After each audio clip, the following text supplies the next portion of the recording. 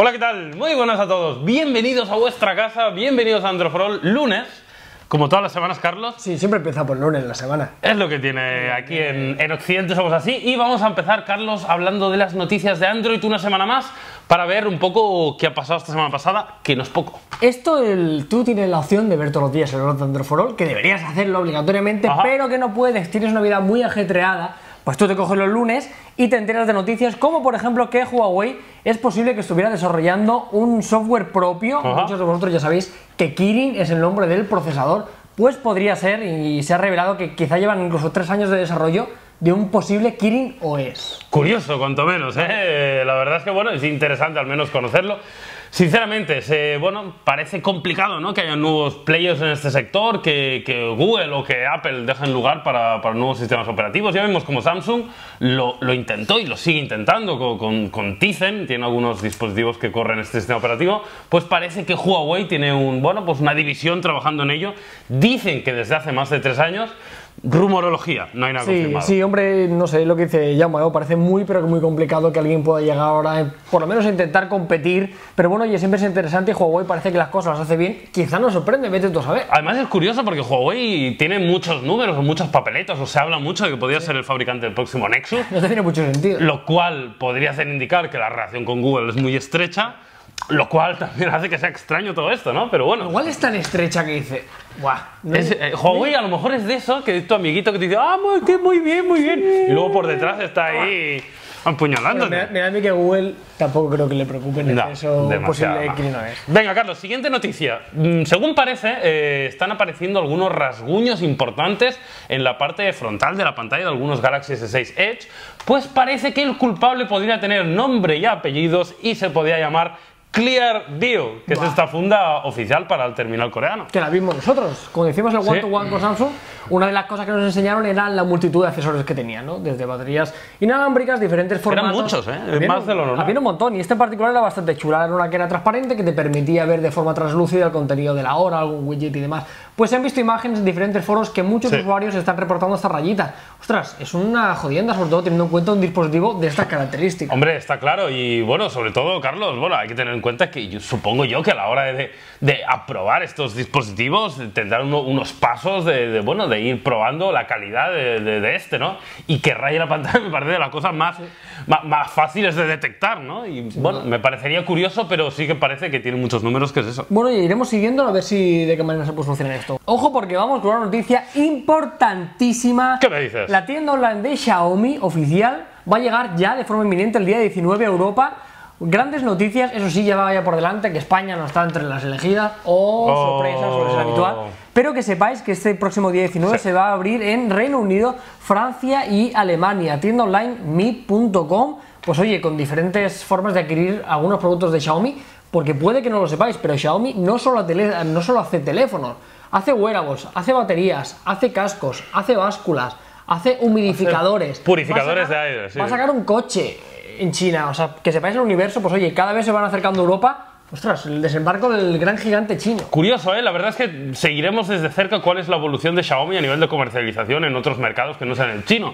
Porque sí que vemos desde hace mucho que, bueno, no parecía que su estrategia a corto plazo pasara por eso, ya que, bueno, ellos eh, tampoco parece que sacaran mucho rédito al hardware, al menos en smartphones, económicamente hablando, sino que a través de otros servicios. Eso implicará que Xiaomi va a ampliar sus servicios cloud, sus servicios de Veremos. software a otros países. Veremos. Parece extraño porque sí que es verdad que China es un mercado muy concreto donde no funcionan algunos servicios de compañías americanas muy conocidos. Bueno, lo seguiremos atentos. Nosotros como usuarios pues nos parece interesante ya que tenemos más hardware pues disponible, fácil de comprar y sobre todo con Xiaomi que bueno, es un seguro de vida. Cualquier Sí. cosa Xiaomi que te compres, bien comprado está. Sí, la verdad que sí. Vamos con una posible compra también que podéis hacer. Como sabéis, ya hemos analizado el Nexus Player y en la propia review ya dijimos que no teníamos la posibilidad de poder adquirir el mando fabricado por Asus, un mando que tenía muy buena pinta para poder jugar quizá uno de los puntos más fuertes de este Nexus Ajá. Player. Pues nada, ya está disponible en el Google Store 49 LRLs. Pues oye, si queréis comprarlo, queréis compraros el Nexus Player, oye, puede ser el momento. 50 euritos ya está disponible. Eh, yo la verdad es que tenía clarísimo que me lo iba a comprar, ahora un poco menos. Sí, totalmente. Porque realmente poco partido le vas a sacar a corto plazo. Aunque también es verdad, ahora que ya me lo he comprado. Ya que lo tiene, ya hace el pack Me completo. lo, voy a, comp- me lo voy a comprar, pero sí que es verdad que sé que le voy a sacar muy poco partido a corto plazo. No, es con la esperanza, es lo que dijimos en Nexus Player. O sea, a día de hoy creemos que no es recomendable. O sea, o sí sabiendo muy claro las pocas sí. aplicaciones que hay. Yo creo que un pelín de paciencia, si esto se caldea, sacan juegos chulos, oye, es una muy buena compra. Efectivamente, vamos con otra noticia de una buena compra, o al menos eso es lo que parece a priori, de otro, bueno, dispositivo, gadget, complemento, como queráis llamarle, como es la nueva Honor Power Bank. Yeah. Está de moda sacar power banks, sacar baterías. Por eso nosotros analizamos Claro. de vez en cuando baterías, porque es algo que la gente requiere. Sí, y bueno, evidentemente cada vez tenemos más gadgets, sabemos todas las limitaciones que tenemos de batería, pues evidentemente estos dispositivos, pues prácticamente casi todo el mundo tiene uno. Pues Honor se apunta al carro con una que tiene, se parece bastante a la de, a la de OnePlus y a la de Xiaomi y tal. Tiene un aire importante, 13.000 mAh, que me parece bastante importante. Yo creo que a partir de los 10.000 ya tenemos una batería pues muy cuantiosa que nos cargará varias veces y sobre todo, Carlos, al final lo más importante de esto es que es muy baratico. 19 euros, pues cuesta como casi todas, ¿no? La Xiaomi también va por ahí los tiros, pues oye, bueno, que sepáis que otro Yo he pagado más- cubatas a más precio que esto. Seguramente, pero nunca te han dado la misma satisfacción. Totalmente. Voy a reproducir un sonido para intentar explicar la siguiente noticia. ¿Qué, qué, qué estás haciendo? Ah, vale, vale, vale, vale. Vale, lo voy a intentar reproducir otra vez por si. Atención, eh, atención. Muy bien. ¿Qué ha sido eso, Llama? Por eso ha sido que se ha lanzado un teaser sobre un Galaxy S6 Edge versión Iron Man. Lo has entendi- lo habéis entendido, ¿no? Lo he entendido. Pro Android publicó un tweet que todavía era más ejemplificante que Se esto. copió de mí. Hizo, Pero hizo esto no lo has inventado tú, Pero eh. Tampoco vayas aquí El de. gesto del. Sí, pa, pa, sí.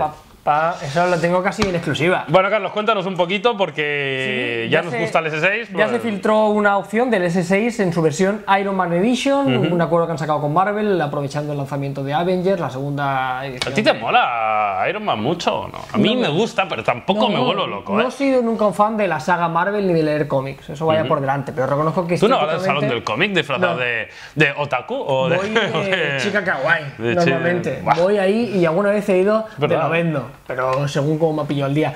Pues nada, oye, que sepáis unas imágenes, Coming Son, esto está a punto de llegar, una edición limitada en dorado y en rojo.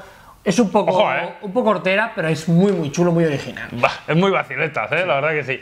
Vamos con otra noticia un poco rápida porque, bueno, ya veréis que no, no es muy para nuestro mercado. Como HTC que podía sacar el J Butterfly, un terminal muy top que tiene muy buena pinta. Ahora, eso sí, parece que no lo veremos en Occidente, directamente para el mercado asiático. Y bueno, como siempre, si quieres, Carlos, repasamos brevemente, Sí, sí, sí. pero especificaciones muy top, diría yo. Está muy bien, ¿eh? esto es, una pena que no llegue, me cago en la leche. 5.2, Quad HD, eh, 810, 3 GB de RAM. Vamos, el hardware del M9, a este que sumar la doble cámara de 20 megapíxeles, una delantera de 13, súper cargado de conectividad, 32 eh, gigas, 2700 miliamperios, ahí quizá hacen un poquito corto. Pero bueno, un magnífico terminal que Sí. por ahora se va a quedar destinado al mercado de, de Japón. Sí, no es la primera vez, ya vimos que el One M9 Plus también iba solamente para un mercado asiático. Bueno, no, hombre, no da muy buen feeling estas noticias, ¿no? No sé muy bien la estrategia de HTC, pero bueno, nosotros cuanto menos lo comentamos y veremos un poco cómo evoluciona. Y ahora cambiamos de tercio para hablar de software y una actualización del launcher, pues no sé si es el más conocido, pero uno El- de los que más hemos usado. Nuestro favorito. Efectivamente, Nova Launcher, Carlos, versión 4.0, novedades y sobre todo, y yo creo que quizá lo más llamativo, un aspecto material design casi 100%. A tope, a tope de Power. Yo siempre lo he A utilizado. tope de Power the House, ¿te acuerdas? Ah, yeah, programa a ese tope de, de Power the House. de las chonis. De las chonis. Este, hay programas que no deben desaparecer nunca. Princesas de. Princesas de barrio, ¡Princesas de barrio! programón. Ah, Me cago en la leche. Si alguna de, las participantes, princesas de barrio, No, mejor sigue, que, mejor que nos no. puede comentar. Pues nada, oye, en serio, el Nova Launcher lo hemos dicho siempre, es una de las compras quizás más eh, recomendables. Sí. Si tienes un. Y tiene versión gratuita, ¿eh? También. Tiene versión gratuita, ya hablaremos del precio porque ha, suf- ha sufrido un, un incremento. Material design a tope, la verdad que genial, Sí. funcionamiento exquisito, múltiples opciones de configuración, ya tenemos el box de aplicaciones con el diseño auténtico de Material Design, terminales con pocas especificaciones o terminales con una capa de personalización que no nos matan mucho, como Emotion UI, algunas capas de algún fabricante chino que nos mola, le metéis Nova y oye, os da un cambio al 100%. Efectivamente, muy rápido. Nuevos fondos de pantalla, nuevos iconos exportados de Lollipop, personalización de tamaño y texto del icono, basado totalmente en Launcher nativo 5.0, búsqueda de aplicaciones en el cajón mediante des- eh, deslizamiento hacia abajo, etcétera, etcétera. Pero la mala noticia, entre comillas, es que la versión Prime, que es la versión un poco más guay de Nova Launcher, que te damos opciones, pasa de los 3 lereles que costaba antes a los 5,35 euros, un poquito más caro. Aún y así, yo los pago a gusto. Sí, yo los tengo. Yo lo compré hace un montón de tiempo y es una de las compras y una de las pocas aplicaciones que digo, oye, cómpratelas sin duda. Y por 5 euros, como dice Yauma, todavía se puede, se puede comprar. Claro que sí. Buenas noticias en cuanto a actualizaciones, siempre decimos que una de las ventajas que tiene la familia Motorola y en particular el Motorola Moto E, que por muy poco Ajá. dinero tienes actualizaciones garantizadas. Pues ya está empezando a llegar la versión de 5.1 para la nueva versión del Motorola Moto E que cuesta 129 euros. Pues oye, súper actualizado, cuestión de días. Efectivamente, continuamos, Carlos, con otra noticia de hardware. Asus confirma el lanzamiento del ZenWatch 2 en el tercer trimestre de 2015. Es decir, estaba previsto, creo, que para 2016, adelanta el tercer trimestre de 2015. Muy bien. Y bueno, es un wearable más que tendremos entre nosotros, podemos disfrutar de él. Eh, yo me acuerdo, Carlos, que hace poquito hicimos una guía para comprar un wearable Sí, sí. y me parece muy interesante ver este vídeo. Os invito desde aquí a que lo veáis para saber un poco cuáles son las claves a la hora de comprar estos dispositivos, que no siempre es fácil. No es fácil porque hay muchos y hay algunos de ellos con bastante personalidad y aspectos bastante remarcables de Sí. cada uno de ellos. Importante destacar que posiblemente sea más de lo mismo, pero con un añadido importante, o eso es lo que ellos eh, se aventuran a decir, que podría tener una autonomía de cuatro días. Bueno. Si esto fuera así, yo creo que el Asus TenWatch es uno de los dispositivos más bonitos Sí. que existen. Yo me lo pude probar en el Moago Congress, me pareció precioso. Y si la batería lo cumple, ojo, porque podemos tener una alternativa verdaderamente seria y puede que uno de los posibles reyes de Android Wear. Sí, veremos también la conectividad. No recuerdo si el ZenWatch original traía conectividad Wi-Fi, que al final era uno de los elementos de la nueva actualización de Android Wear. ¿no? Bueno, barajaremos opciones y veremos un poquito qué tal es este terminal, pero no cabe duda que lo, que lo estamos esperando. Venga, vamos a hablar de una aplicación interesante. Eh, ya sabéis que el mundo de la mensajería, la verdad que es una auténtica locura. Muchos son los que intentan subirse al carro y pocos los que consiguen quitarle algo de, de cuota de mercado al, a WhatsApp, que es el rey indiscutible. Pero en este caso únicamente algunas cifras sobre Telegram.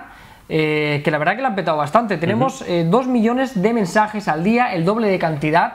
eh, si lo comparamos con el 2014, 50 millones de usuarios activos mensuales el mismo mes, con una diferencia que en la actualidad disponen de 62 millones. O sea, han crecido una auténtica barbaridad y hay una serie de gráficos bastante graciosos.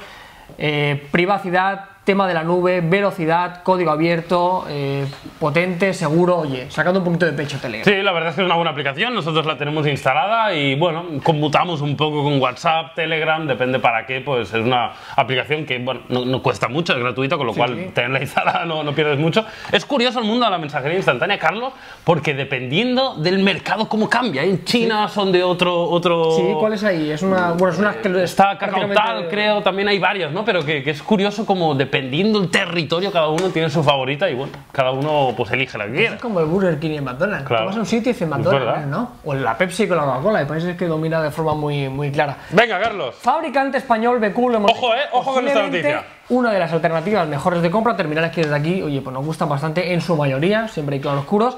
Pues oye, tenemos nuevo logotipo, agarrados, porque es bastante distinto a lo que estamos acostumbrados. Si tú ves el logo así a bote pronto, dices, esta gente que ha hecho, pero si rascas hay un pequeño trasfondo. Sí, sí. Es curioso, es muy está, muy bien. Está muy- Hombre, a mí no me gustó mucho de primeras, tengo que decirlo, pero está bien cuando te lo explican. Ahí está. Cuando te lo explican, dices, hostia, pues tiene, tiene sentido. También te digo que no sé yo, la gente cuando vaya a la tienda, si va a rascar mucho sobre el logo, ¿no? Eso Pero dije yo, digo, yo lo entiendo, lo puedo entender. Cualquier otra persona va a decir, "¿Y ¿qué ha pasado aquí? Está bien, porque BQ quiere un poco acercar la tecnología, la tecnología es para todos y bueno, ese concepto ¿no? de la evolución, el ser humano, cuán importante es el hombre, ¿no? El En crear esta- también. claro, en esta evolución tecnológica y bueno, pues es un logo curioso con, con unos puntos que representan pues los dedos de una mano, ¿no? Y bueno, a mí visualmente la primera vez sinceramente no me terminó, pero bueno, sí que es verdad que cuando te lo explican y lo ves, pues tiene sentido. Sí, como siempre en la descripción os dejamos el link a todas las noticias, ahí tendréis un vídeo, tendréis incluso una nota en el cual sale detallado por qué han querido dar este giro. Ajá. Os recomiendo que lo leáis porque es interesante ver un poco por qué han seleccionado este logo y no han continuado con el, con el anterior. Muy bien.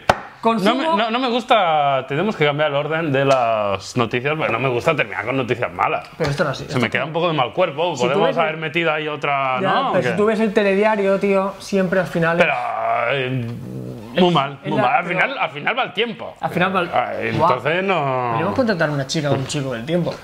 Venga, Carlos. eh, Consumo excesivo de batería... patrocinado por AccuWeather. ¡Ey, yeah! Oh, ¿Sí o no? ¿Quieres una aplicación? O por Yahoo Tiempo. ¿Y quieres patrocinar... eh, O por Digital? Meteor. No hay ningún problema. Venga. Pues oye, mucha gente está quejándose y ya lo dijimos en las noticias, en alguna review, que, que Android 5.1 Lollipop está dando serios problemas.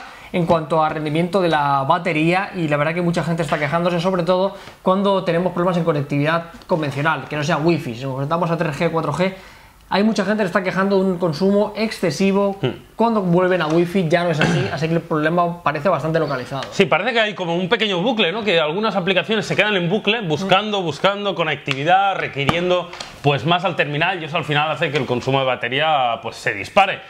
Es curioso y un poco triste porque sí que es verdad que el Lollipop 5.0 ya venía con Project Volta apretando, se suponía que debía, debía ser pues una vuelta de tuerca en cuanto a consumo de batería. Pues vaya- Puedes, puedes entender que la primera versión, bueno, por ser una primera versión, pues tenga problemas. Lo que es una lástima es que esta segunda versión siga teniendo problemas. Sí que es verdad que si es un problema puntual de un bucle y se puede solucionar, veremos luego cómo, cómo queda el consumo, ¿no? Pero bueno, como siempre, los usuarios un poco cabreados y veremos cómo, cómo responde Google. Esperemos qué pasa, pero yo creo que Lollipop está haciendo una de las actualizaciones más controvertidas. O sea, estéticamente, Sí. yo creo que todos coincidimos que es preciosa, que es uno de los pasos adelante más importantes, pero está viendo un montón de jaleo. O sea, yo con el tema de la RAM, que si no sé qué, los bugs, ahora la batería con Claro. 5.1. Oye, Google, que está muy bien que se actualice cada 2x3, pero vamos Claro. a empezar al final porque esto es- También hay que tener que la, la actualización con más cambios de la historia de Android, con lo cual con más puntos de fallo posibles en la historia de Android. Pues te esperas y hasta que lo tengas más solucionado y lo sacas cuando esté bien, me cago en la leche. Así que nada, como siempre, estas han sido las noticias de todos los lunes. Eh, recordad, podéis comentarlas con el hashtag Los lunes molan, Yeah. porque nos gusta no solo contar las noticias, sino ver un poco cuál es el, el- el sentir de la comunidad, ¿no? Y qué refleja la gente con estas noticias. Así que nada, nosotros muy atentos al hashtag para saber cuál es vuestra opinión. Así que esto ha sido todo y así se lo hemos contado. Hasta luego. Así, era así, esto sido todo. Si no era así, se parecía mucho. Sei, que sei.